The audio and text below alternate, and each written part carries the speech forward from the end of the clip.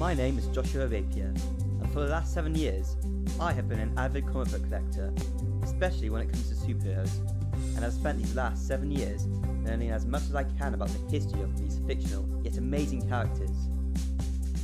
We have all read the comics, watched the countless films and TV shows, and overall, the fantasy life of superheroes is glamorous and heroic, and just like any good media, serves as wonderful escapist fiction. And yet, when you look deeper, you'll find only do these superheroes deal with the same issues most people are uncomfortable with, but they have a powerful effect on those who view them, and that now even superheroes are safe from the social issues that plague reality. As a result of my love of comics, I have gained a large understanding of the groundbreaking series that changed the landscape of superhero comics and how people view them. From fun but nonsensical stories in the 50s to a strong, unique media in its own right with a deep history, both fictional and non-fictional. Starting from the 70s, comic writers have started focusing their attention on problems society frequently face, starting off with the dangers of illegal drugs, and then eventually tackling a slew of topics that trouble society and even discouraging those who persecute people with different sexuality or nationality by creating more LGBT and diverse characters outside of original cliche that all superheroes were good-looking, straight white American men. These characters have allowed for great social commentary within the comic book pages, and are a prime example of how the world views have changed in the last 80 years. So today, I want to give a brief history lesson on the comics, writers, and landmark issues that have changed the landscape of comic books and helped define the themes and characters we have previously discussed. And by the end of it, I'll answer the questions Are these comics relevant? And do they even help the world views? So, now that all that is set, it's time we start this history lesson properly by beginning at the very start of superhero genre, the Golden Age.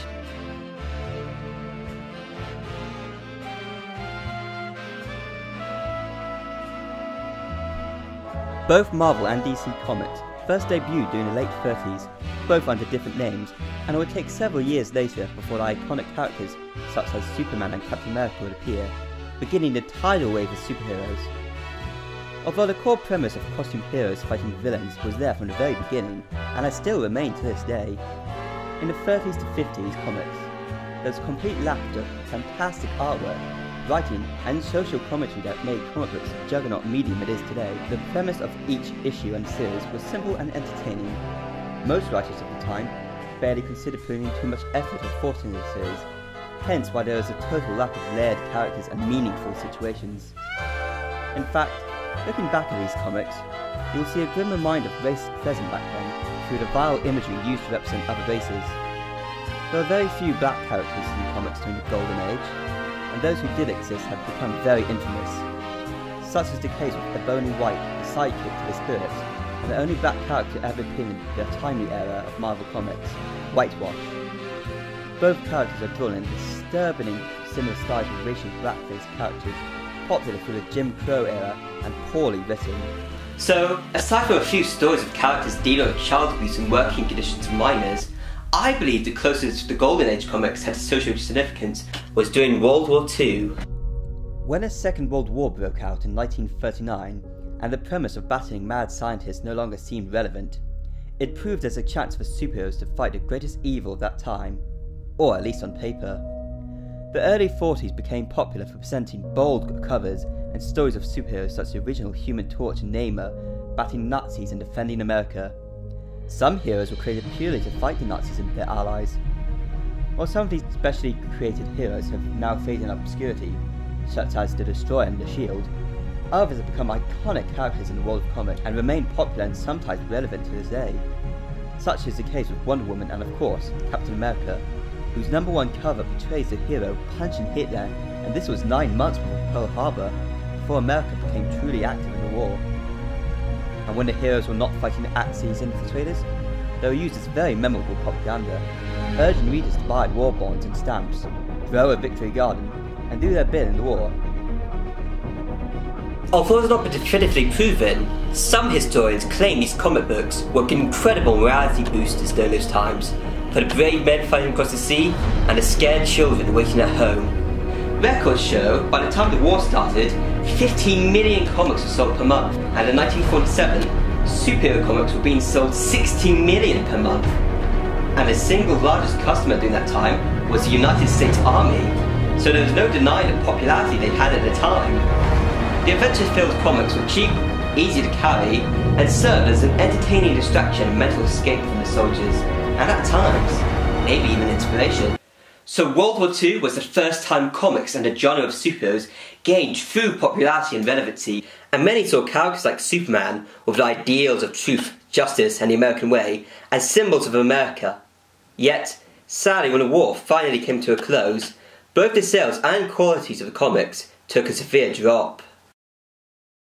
Many believe that the Comic Code Authority was born from the ideology of Fredric Wertham, writer of 1954's anti comic book Seduction of the Innocent, a now infamous book that claimed comic books were an evil form of literature that not only glorified violence and homosexuality, but also encouraged them, apparently leading young viewers to juvenile delinquency and earning disturbed minds. While now the book is rightfully criticised for exaggerating violence in comics and giving readers bad, even incomplete information, at time of its release, it was a massive blow to the comic industry, due to many parents being alarmed by what they read, going as far as to host comic book burnings. This widespread overreaction led to Senate hearings in 1954 on the potential impact comic books had on juvenile delinquency. Due to unfortunate results, in 1954, the Comics Magazine Association of America created a Comic Code of 40 that allowed the major comic publishers to self-regulate and censor the content of comic books. By the end of the year, every single series hosted a Comic Code logo, ensuring parents that their child was reading a non-violent comic. The code had many rules against showing types of violence or horror. While nowadays, public opinion to Comic Code is negative, I think it had some benefits. For example, a lot of the pointless, violent, and racist imagery was cut. But there's no ignoring the Comic Code essentially ruined the creativity and story of the writers and comics, with the many rules forcing superhero comics to leave their dark, crime-fighting roots. Some publishers like Timely started focusing more on sci-fi and romance comics, and for a while, even cancelled the series of beloved classic superhero. DC managed to continue their superhero range, most likely thanks to the popularity of the Superman radio and TV show. But in order to play it safe and stick to the many rules of the CCA, writers forced their characters to leave their mature route and become more far-fetched than ever before, with stories ranging from campy, melodramatic, to laughably ridiculous. So, with the CCA and overprotective parents breathing down the backs of the writers, they were unable to make many mature stories. And while not all comic books were bad during that time, the fact of the matter is, nothing socially relevant or groundbreaking happened in comics during the 50s. Fortunately, though, the next decade would bring with it new stories that helped redefine the superhero genre and pave the way for socially relevant stories.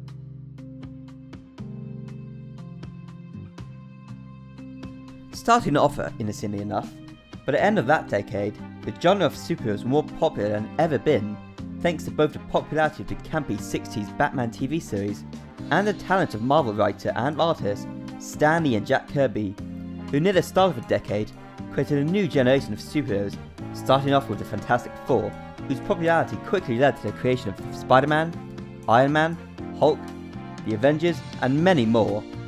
What made these characters different and more popular from the past was that there was a focus on their lives outside of being superheroes allowing for more realistic situations to happen, making the lives of the characters more dramatic and relatable to the audience, with even magazine polls showing students admired characters like Spider-Man and Hulk for being outsiders.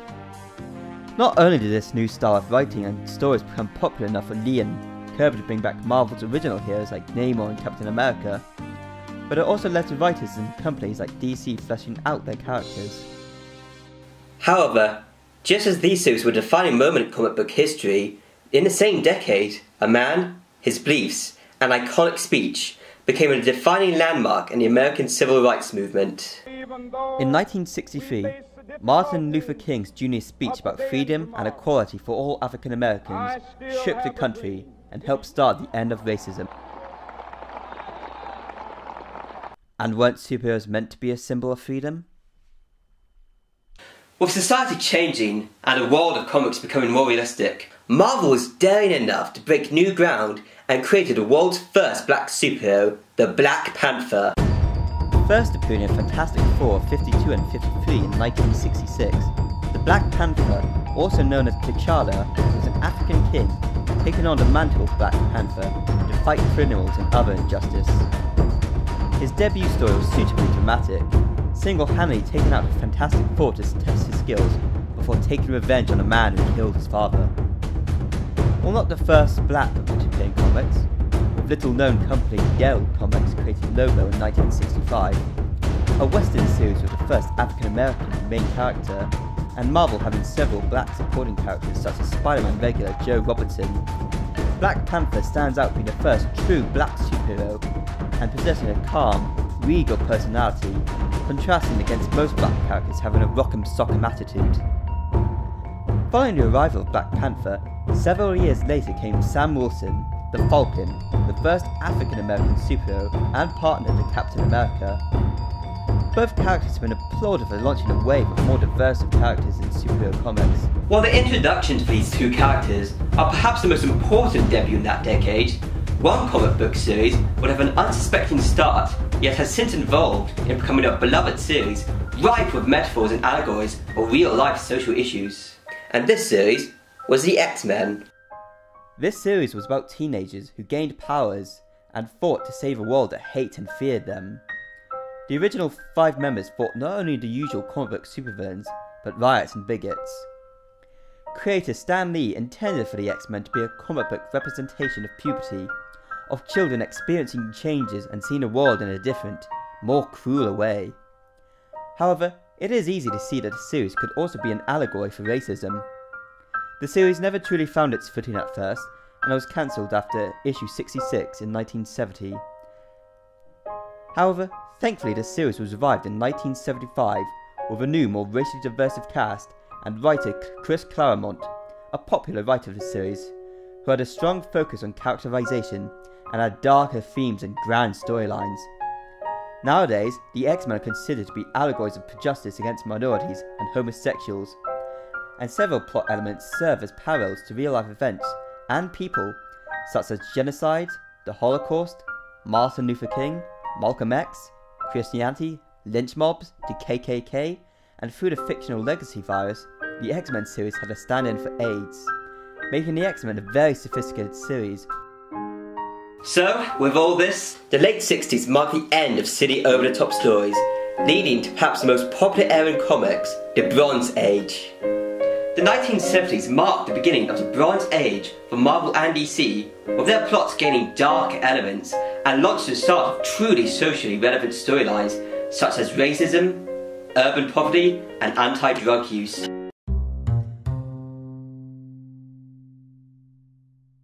It was the introduction of danger of drugs in comics that served as a game changer of that decade.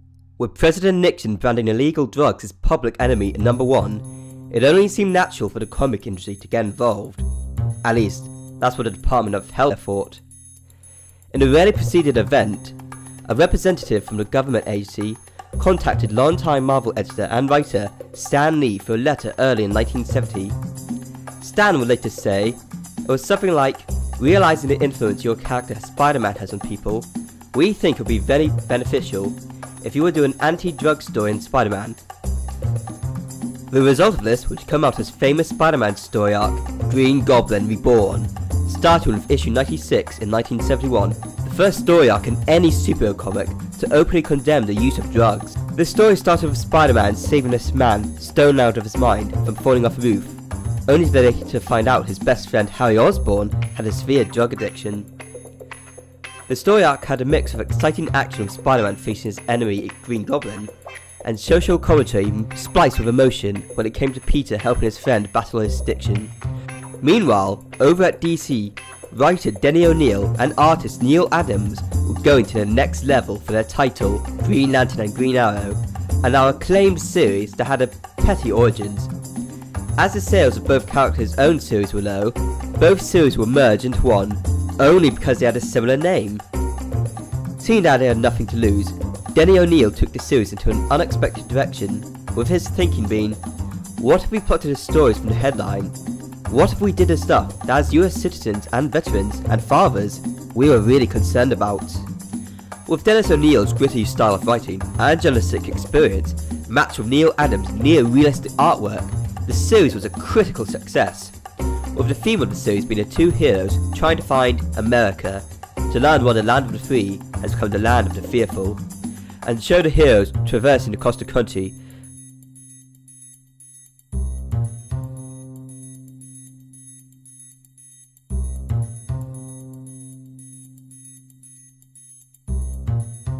During this run, writer and artist tackled most of the topics they felt passionate about, except the issue of drug abuse, a topic Adam wanted to explore.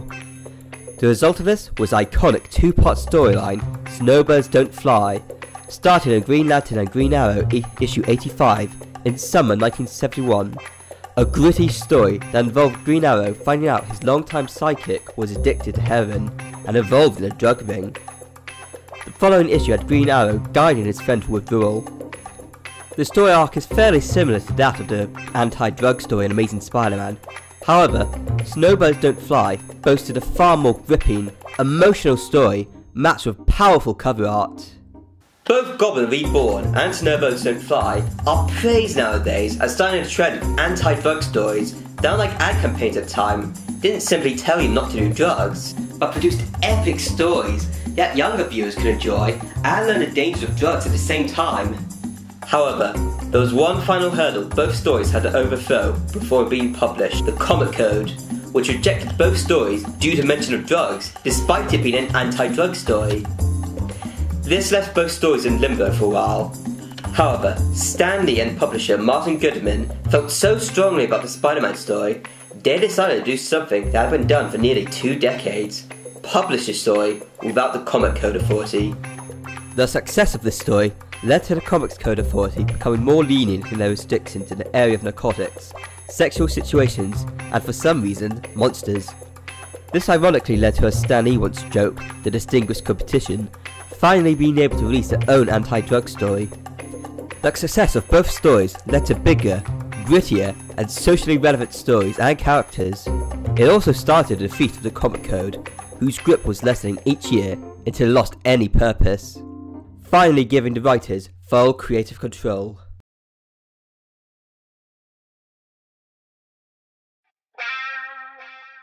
The modern era, also known as the Dark Age of comic books, continues and improved upon the elements that made the Bronze Age such massive hits. Once the topic of drug abuse led to acclaimed stories, there was no turning back. Any topic that had potential and writers felt passionate about was adapted into their respective comic universes.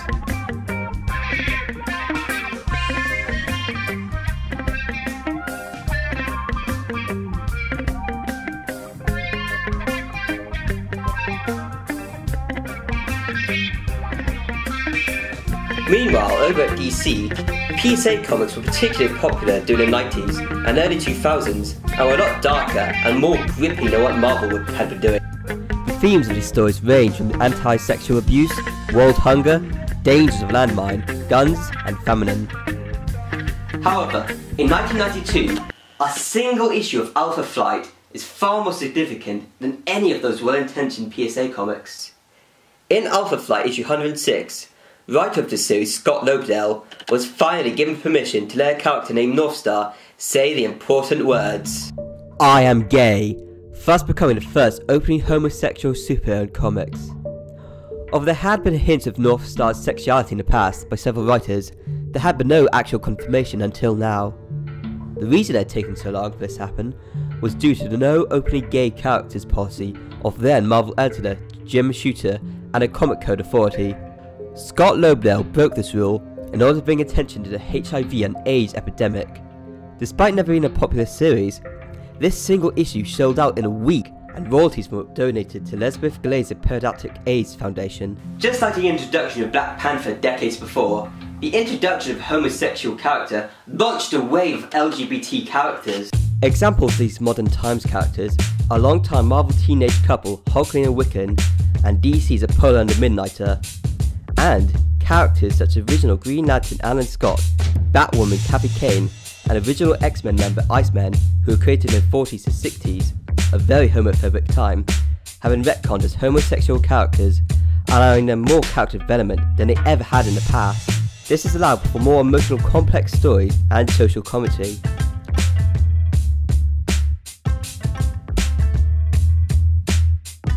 And in 2012, following President Obama's revealing his agreement with same-sex marriage, it seemed very fitting that Northstar and his boyfriend Kyle would have the first official marriage of a gay couple in Marvel Comics in a wedding dedicated issue, Astonishing X-Men issue 51.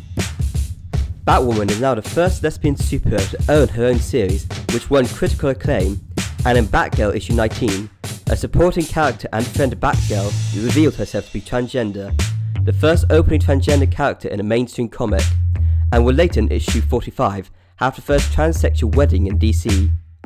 Even non-superhero comic series Archie Comics created news headlines by introducing the first gay character in the series, Kevin Keller, in 2010. Gay and Lesbian Alliance Against Defamation then President Jarrett Barrios praised Kevin's creation.